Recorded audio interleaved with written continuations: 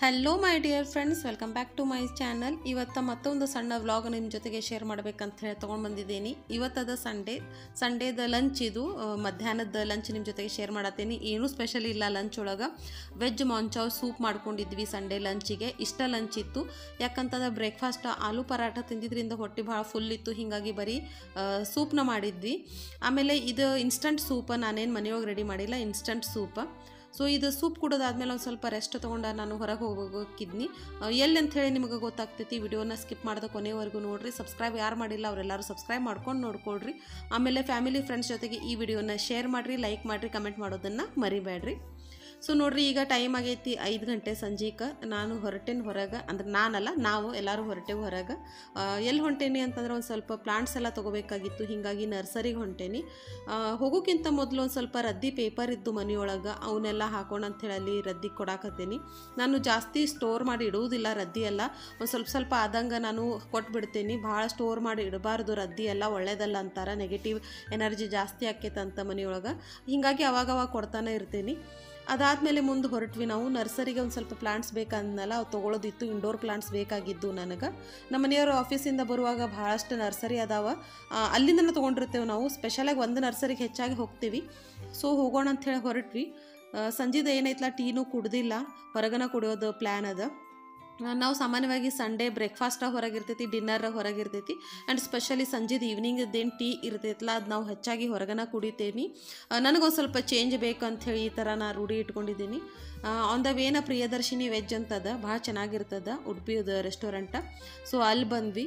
ಅಲ್ಲಿ ಬಂದಾದ್ಮೇಲೆ ಏನು ತಿನ್ನರ ತಿನ್ನಕ್ಕೆ ತೊಗೊಳ್ಳೋಣ ಅಂತ ಅಂದ್ಕೊಂಡ್ಮೇಲೆ ಅವ್ರು ಹೇಳಿದ್ರು, ರವೆ ಇಡ್ಲಿ ರವೆ ಮಸಾಲೆ ಇಡ್ಲಿ ಅದಾವ, ಈಗ ಮಾಡಿದ್ದು ಚೆನ್ನಾಗದ ತೊಗೊಳ್ರಿ ಅಂದ್ರೆ ಹಿಂಗಾಗಿ ಅವನ್ನ ತೊಗೊಂಡ್ವಿ. ಅದ್ರ ಜೊತೆಗೇನೆ ಪಕೋಡ, ಏನೋ ಗೋಲಿ ಪಕೋಡ ಅಂತ ಬಜ್ಜಿ ನಮ್ಮ ಲ್ಯಾಂಗ್ವೇಜ್ ಒಳಗೆ ಹೇಳ್ಬೇಕಂದ್ರೆ. ಆಮೇಲೆ ಟೀ ತೊಗೊಂಡ್ವಿ ಎಲ್ಲರೂ. ಟೀ ಜೊತೆಗೆ ಏನೈತೆ ನೋಡ್ರಿ ಇದು? ಬಜ್ಜಿ ತಿನ್ನೋದೊಂದು ಮಜಾನ ಬೇರೆ ಇರ್ತದೆ. ನನ್ನ ಮಗನಿಗೆ ನಾವು ಟೀ ಕೊಡೋದಿಲ್ಲ, ಹೆಚ್ಚಾಗಿ ಅವ್ನು ಕುಡಿಯೋದು ಇಲ್ಲ, ನಾನು ಕೊಡೋದು ಇಲ್ಲ. ಆದರೂ ತೊಗೊಂಡಿದ್ರು ಅವ್ರ ಪಪ್ಪ. ಹೆಂಗೈತೆ ಅಂತ ಕೇಳಿದ್ನಿ, ಮಸ್ತ್ ಐತೆ ಅಂತಂದವ ಸಣ್ಣ ಮಕ್ಕಳಿಗೆ ಹೆಚ್ಚಾಗಿ ಟೀ ಕೊಡಬಾರ್ದು ಅಂತಾರೆ ಹೀಗಾಗಿ ನಾನು ಅದನ್ನು ರೂಢಿನ ಇಟ್ಟಿಲ್ಲ ಅವನಿಗೆ. ಅದಾದಮೇಲೆ ಇದೊಂದು ಶಾಪ್ ನೋಡಿದ್ರು ನಮ್ಮ ಮನೆಯವರು ಆನ್ ದ ವೇ ಆಫೀಸಿಂದ ಬರುವಾಗ. ಸೊ ಅಲ್ಲಿ ಹೋಗೋಣ ಬಾ ಅಂತ ಹೇಳಿ ಹೇಳಿ ಕರ್ಕೊಂಡು ಹೋದರು. ನನಗೆ ಒಂದು ವಾಲಿಗೆ ಮೆಟಲ್ ಆರ್ಟ್ ಏನಂತಾರಲ್ಲ ವಾಲ್ ಹ್ಯಾಂಗಿಂಗ್ ಆಗಬೇಕಾಗಿತ್ತು. ಸೊ ಅದನ್ನು ಹುಡ್ಕಾತಿದ್ನಿ ನಾನು. ಆನ್ಲೈನ್ ಎಲ್ಲ ನೋಡಿ ಇಟ್ಟಿದ್ದೆ ಇಲ್ಲೊಂದು ಶಾಪ್ನೂ ಅದು ಓಪನ್ ಆಗೈತಿ, ಹೊಸದಾಗಿ ಬಾ ನೋಡೋಣ ಅಂತ ಹೇಳಿ ಕರ್ಕೊಂಡು ಹೋದರು. ಹೋದ್ವಿ. ಕಲೆಕ್ಷನ್ಸ್ ಏನು ತುಂಬ ಭಾಳ ಚೆನ್ನಾಗಿದ್ದು ಭಾಳ ಇದ್ದು ಬಟ್ ಏನೈತಿ ಸ್ವಲ್ಪ ಕಾಸ್ಟ್ಲಿ ಅನಿಸಿದ್ವು ನಮಗೆ. ಏನೈತಿ ಇದು ಆನ್ಲೈನ್ ಏನದಾವಲ್ಲ ಅವೈಲಬಲ್ ಇರ್ತಾವಲ್ಲ, ನಮಗೆ ಸೇಮ್ ಅದ ಪೀಸನ್ನ ಸ್ವಲ್ಪ ರೇಟ್ ಜಾಸ್ತಿ ಹೇಳತ್ತಿದ್ರು ಅವ್ರು. ಆದ್ರೆ ನೋಡೋಣ ಕಂಪ್ ಹೋಗಿ ನೋಡ್ಬೇಕಂತ ಹೇಳಿ ನಾನು ಹೋದ್ನಿ. ಬಟ್ ಕಂಪೇರ್ ಮಾಡಿದ್ರೆ ಭಾಳ ಕಾಸ್ಟ್ಲಿ ಇದ್ದು ಬಟ್ ಅಲ್ಲಿ ಏನೇನು ಇದ್ದು ಅಂಥೇಳಿ ನಿಮ್ಮ ಜೊತೆಗೆಲ್ಲ ಶೇರ್ ಮಾಡತ್ತೀನಿ. ಪೀಸಸ್ ಮಾತ್ರ ಅವ್ರೇನು ಡೆಕೋರೇಟಿವ್ ಎಲ್ಲ ಪೀಸಸ್ ಇಟ್ಟಿದ್ರಲ್ಲ, ಭಾಳ ಯೂನಿಕ್ ಇದ್ದು. ಹೊಸದಂಥ ಶಾಪ್ ಅದು, ಭಾಳ ಚೆನ್ನಾಗಿ ಇಟ್ಟಿದ್ರೆ, ನನಗೂ ಇಷ್ಟ ಅದು.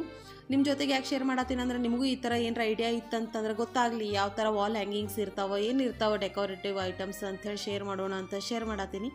ಭಾಳ ಇಷ್ಟ ಅದು. ಬಟ್ ನಾನೇನೂ ತೊಗೋಲಿಲ್ಲ ಯಾಕಂದ್ರೆ ಅವ್ರು ಅಂದರು, ಬಾರ್ಗೇನ್ ಮಾಡಿ ತೊಗೊಳ್ರಿ, ಕಮ್ಮಿ ಮಾಡಿ ಕೊಡ್ತೇನೆ ಅಂಥೇಳಿ ಬಟ್ ಪ್ರೈಸ್ ಇಷ್ಟು ಹೈ ಇದ್ದಿಲ್ಲ.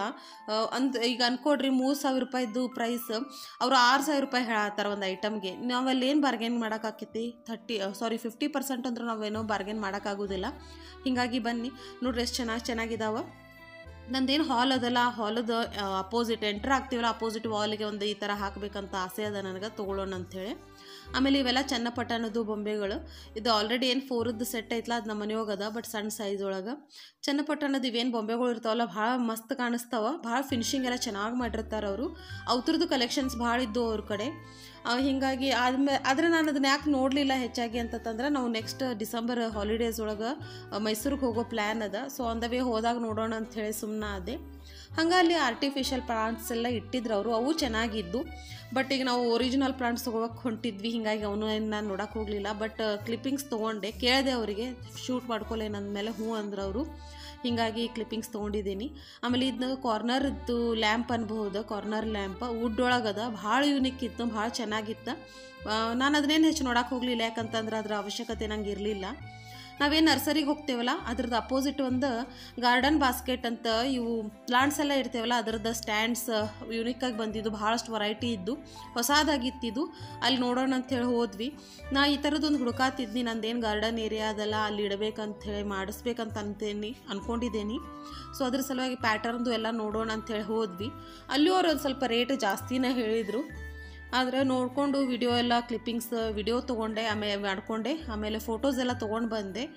ಅದನ್ನು ನಮ್ಮ ಮನೆಯವರು ನಮ್ದು ಏನು ಫ್ಯಾಬ್ರಿಕೇಟರ್ ಅದಾರಲ್ಲ ಪರಿಚಯದವ್ರ ಅವ್ರ ಹತ್ರನ ಮಾಡ್ಸೋಣ ಬಾ ಕಸ್ಟಮೈಸ್ ಮಾಡ್ಸೋಣ, ನಮಗೆ ಹೆಂಗೆ ಬೇಕಂಗ ಅಂತ ಹೇಳಿ ಕರ್ಕೊಂಡು ಬಂದರು. ನೋಡ್ರಿ, ಇಲ್ಲಿ ಎಷ್ಟು ವೆರೈಟೀಸ್ ಅವರ.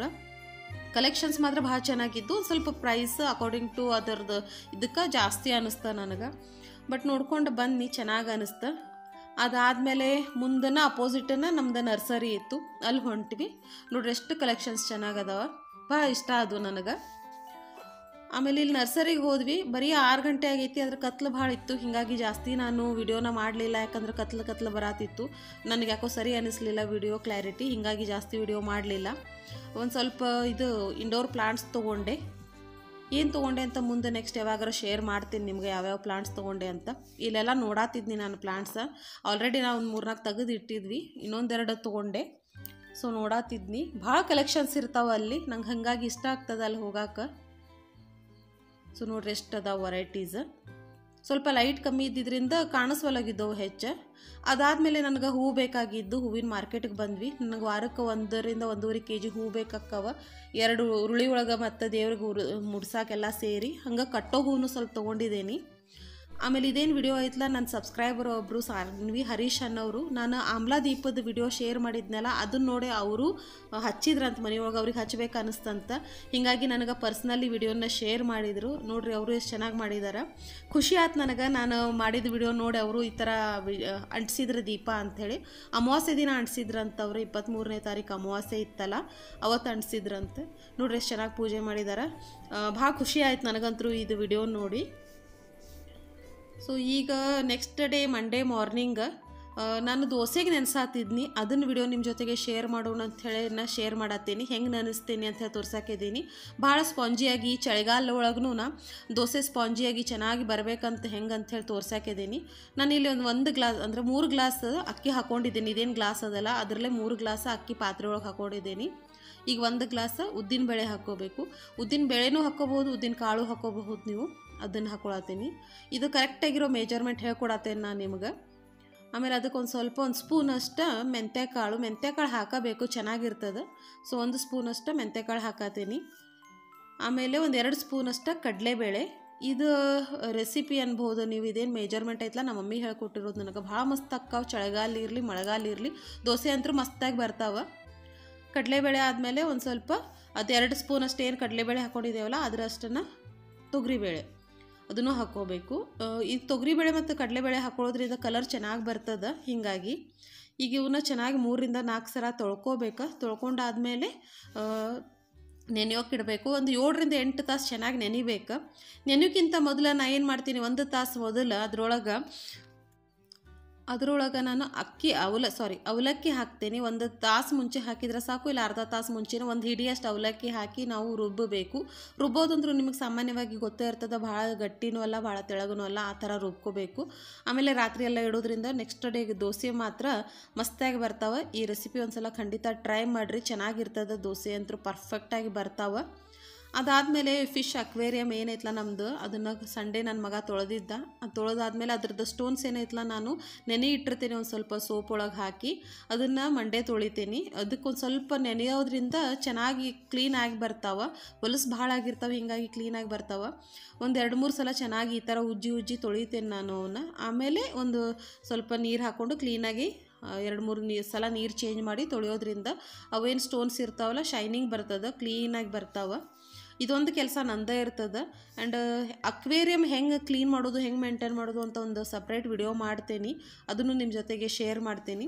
ಅಕ್ವೇರಿಯಂ ಇಡೋದು ಮನೆಯೊಳಗೆ ವಾಸ್ತು ಪ್ರಕಾರ ಭಾಳ ಒಳ್ಳೇದಂತ ಹೇಳ್ತಾರೆ. ನಾವು ವಾಸ್ತು ಪ್ರಕಾರದ್ದೇನು ಮೀನು ಇಡಬೇಕಂತ ಹೇಳ್ತಾರೆ. ಫಿಶ್ ಅದೇ ಥರ ಇಟ್ಟಿದ್ದೀವಿ. ಒಂಬತ್ತು ಗೋಲ್ಡ್ ಸಾರಿ ಎಂಟು ಗೋಲ್ಡ್ ಫಿಶ್ ಒಂದು black gold sorry black fish ಭಾಳ ಚೆನ್ನಾಗಿ ಅನಿಸ್ತೈತಿ ಭಾಳ ಚ, ಚಲೋನೂ ಅನಿಸ್ತೈತಿ ಪೆಟ್ಸ್ ಯಾವ್ದಾರ ಒಂದು ಮನೆಯೊಳಗೆ ಇರಬೇಕು. ಈಗ ನೋಡ್ರಿ ನಾನು ಸೋಪ್ ನೀರೆಲ್ಲ ತಿಕ್ಕಿ ಆದಮೇಲೆ ಅವ್ನು ತೆಗೆದೆ ನೀರು ಈಗ ಮತ್ತೆ ನೀರು ಹಾಕ್ಕೊಂಡು ಚೆನ್ನಾಗಿ ತೊಳ್ಕೊಳತ್ತೀನಿ. ಈ ಥರ ಒಂದು ಎರಡರಿಂದ ಮೂರು ಸಲ ನಾವು ಕ್ಲೀನ್ ಮಾಡೋದ್ರಿಂದ ಕ್ಲೀನಾಗಿಯೂ ಬರ್ತಾವ ಅವು ಶೈನಿಂಗೂ ಬರ್ತದೆ ಅದಕ್ಕೆ. ತಿಂಗಳಿಗೆ ಒಂದು ಸಲ ನಾವು ಅಕ್ವೇರಿಯಮ್ನ ತೊಳಿತೀವಿ. ಇಲ್ಲ ಸೆಂಟ್ರ್ ಒಳಗೂ ಏನರ ಫ್ರೀ ಇದ್ವಿ ಅಥವಾ ಯಾವ್ದಾರ ಹಬ್ಬದು ಏನರ ಬಂತು ಅಂತಂದ್ರೆ ಕಂಪಲ್ಸರಿ ತೊಳಿತೀವಿ. ನೋಡ್ರಿ ಈ ಥರ ಮೂರು ಸಲ ನಾನು ತೊಳ್ಕೊತೀನಿ. ಇನ್ನೂ ಅದ್ರೊಳಗೆ ಸೋಪದ್ದು ಅದು ಅಂಶ ಹೀಗಾಗಿ ಸ್ವಲ್ಪ ಟೈಮ್ ತೊಗೋತದ. ನೀಟಾಗಿ ತೊಳ್ಕೊಬೇಕು. ಅದು ಅರೇಂಜ್ ಮಾಡ್ತೀವಲ್ಲ ಅದಂತೂ ಎಷ್ಟು ಮಸ್ತ್ ಕಾಣಿಸ್ತೈತಿ ಅಂತಂದ್ರೆ ಅಷ್ಟು ಚೆನ್ನಾಗಿ ಅನಿಸ್ತದ. ನಮಗಂತೂ ನಮ್ಮ ಫಿಶ್ ಜೊತೆ ಒಂಥರ ಪರ್, ಏನೋ ಅಟ್ಯಾಚ್ಮೆಂಟ್ ಆಗಿಬಿಟ್ಟದ ಮನೆಯೊಳಗೆ. ಅವು ಅವು ನಮ್ಮ ನೋಡಿ, ನಾನು ಸ್ವಲ್ಪ ಅಲ್ಲಿ ಅವ್ರ ಮುಂದೆ ಬಂದು ಅಂತಂದ್ರೆ ಓಡೋಡಿ ಓಡೋಡಿ ಬರ್ತಾವೆ. ಸೊ ನೋಡಿ ಇಲ್ಲಿ ತೊಳೋದಾದಮೇಲೆ ಬಿಸಿಲಿಗೆ ಇಟ್ಟಿದ್ದೇನೆ ಇವು ಬಿಸಿಲಿಗೆ ಒಂದು ಸ್ವಲ್ಪ ಒಣಗಿಸೋದ್ರಿಂದ ಚೆನ್ನಾಗಿ ಒಣಗಿ ಬರ್ತಾವೆ. ಆಮೇಲೆ ಅದ್ರೊಳಗೆ ಹಾಕ್ತೀನಿ. ಸೊ ಇವತ್ತಿನ ಈ ವ್ಲಾಗ್ ಈ ವಿಡಿಯೋ ಫ್ರೆಂಡ್ಸ್ ಇಷ್ಟ ಆಗಿದ್ರೆ ಒಂದು ಲೈಕ್ ಮಾಡಿರಿ ಕಮೆಂಟ್ ಮಾಡಿರಿ ಫ್ಯಾಮಿಲಿ ಫ್ರೆಂಡ್ಸ್ ಜೊತೆಗೆ ಶೇರ್ ಮಾಡಿರಿ. ಈ ವಿಡಿಯೋ ನೋಡಿದ್ದಕ್ಕೆ ನಿಮ್ಮೆಲ್ಲರಿಗೂ ಧನ್ಯವಾದಗಳು. ಟೇಕ್ ಕೇರ್ ಬಾಯ್ ಬಾಯ್